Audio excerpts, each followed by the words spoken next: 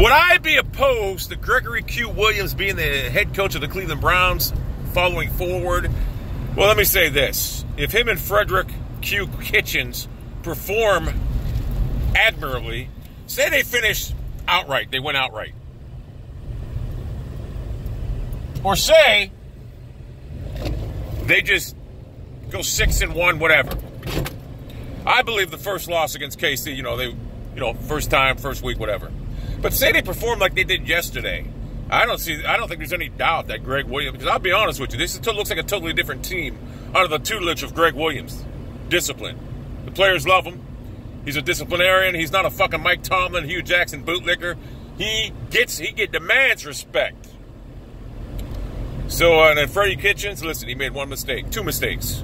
Other than that, and his other mistake was the uh, the uh, prevent offense at the end, playing it safe. Look, you got a quarterback who just let him throw, let him fucking throw.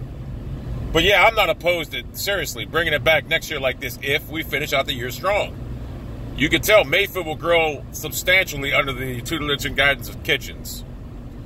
So yeah, I believe these guys have a shot to retain their jobs. I really do. I think John Dorsey's looking at it right now. If they play like this the rest of the season, I don't think there's any doubt that Gregory Q. Williams will have that head coaching job. And I don't see the reason why he wouldn't. I can already immediately know the difference between. It's almost like the Mike Pettine uh, when we had Mike Pettine. The team was disciplined. It's almost like that, but a little bit better. Cleveland looked like an NFL offense last yesterday until they started playing a prevent offense. Defensively, that team was hey.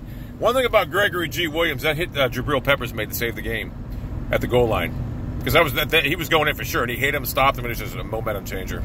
But um, he plugs basically anyone anyone in his defense. And I will say this: I like the fact that he played a lot of cover two yesterday. Usually, this cat just brings the house and plays man, and they get beat by these long passes, whatever. I hate that. I like the fucking the cover two defense yesterday. I liked it a lot better than what he usually plays. Bend don't break. I like that. So yeah, I don't. I, I believe that Gregory Q. Williams and uh, Todd Q. Kitchen have a chance to uh, retain their jobs if they finish strong. And I'm not talking, you know, play great like that and lose. They have to win. You can't play great and lose. You have to win. The Browns win outright. They'll be nine six and one, and I believe they can do it. Now, here's the funny thing about it. Taking into account the games we should have won this year, we should have beat the Buccaneers. We should have beat the Saints. That's two. We should have beat the Raiders. That's three. The first Steeler game, I don't even count that one because we, we got a lucky break with, a, no, Nick Chubb. He touched the ball. So I accept that loss.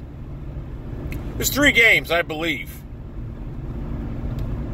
that we should have won instead of losses. And you're looking at an entirely different team. Instead of three, six, and one, you're looking at uh, six, three, and one. Think about it. That's all you need to know. We should be, hey, honestly, we should be a six, three, and one team. The only teams we really got beat by were, well, hold on, hold on. I'm sorry. We should be a five, four, and one team. Well, no, no, no, no, no, no, no, no, no, no, no, no, no, no, no, no, no. Yeah, we should be a six, three, and one team. The only teams really got beat by Pittsburgh, the Chargers, and uh, Kansas City. No, no, no, no, no, no, no, no. I didn't want to. That's the only teams we we should be a six, three, and one team because that tie, the tie was acceptable. So we should be six three and one. The Saints game, we should have won that game. We blew at the kicker, missed all the kicks, and uh, we had Tyrod Taylor for crying out loud. We had that game won. The Tampa Bay game, we, we should have won that game. And the Raider game, we got robbed of. So you're looking at a 6 3 1 team. We should be, and I believe if uh, they would have fired uh, Hue Jackson, we would be that. We would have fired Hue Jackson like he should have, but Jimmy has Haslam fucked everything up. We'd be 6 3 1 at least. So um, yeah, I believe Greg Williams and Todd W. Kitchen's going to retain their jobs. I really believe that. Because Mayfield looked good yesterday. Looked good. And um, Mayfield's going to be a superstar in this league. You can just see it. And you know damn well he didn't want to hand the ball off yesterday. He wanted to throw the ball. Nick Chubbs, I'm not going to lie to you, in preseason he looked like garbage. I'm going to tell you something. He's a fucking stud. Fast, powerful. He's a beast. You look at the draft John Dorsey had Nick Chubbs, Denzel Ward, and Mayfield. And then you got Genard Avery. And that Harrison, hey, he, he ain't done yet, that uh, offensive lineman, that undrafted, whatever. They really had a great draft.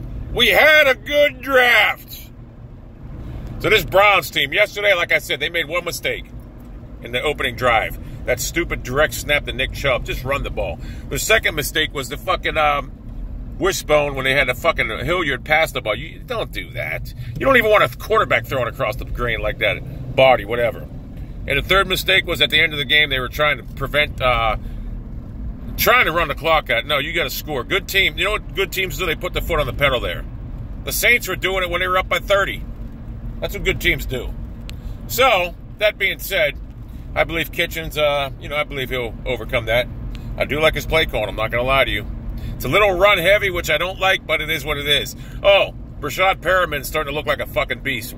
Uh, Callaway's looking like a beast. I'm telling you, these guys are going to grow, and Cleveland's going to be a dominant fucking team. I'm telling you, it's happening right before our eyes and I'm pretty fucking pumped up about it. I'm just sickened. I'm sickened that we gave up the fucking early games in the season because Jimmy Haslam's a retard. But I'm gonna tell you, we can go nine, six, and one. That will get us in the playoffs. I really believe that. And even if it doesn't, I want to win every game out. I do. It's a different team under It's a different team under the tutelage and guidance of Gregory G. Williams. You can just see it. It's a different fucking team. Go, fuck stain. So, I'm pretty pumped up. Go, I'm giving you the way, you dickhead. Yeah. Anyway, Cleveland Browns are stacked. They're loaded. Got a lot of talent. They got a superstar quarterback, uh, franchise quarterback. Uh, for the people out there, I mean, there's only a few people. That, if you if you don't think Mayfield's a franchise quarterback, then you obviously don't football. He's a franchise quarterback. I mean, everyone. You just watch Brian Baldinger. He he knows it. The only people that don't think so are fucking people that just don't know football. They're trying to find a reason so they can be like Skip Bayless. Mayfield is a fucking stud. Accept it. Move on.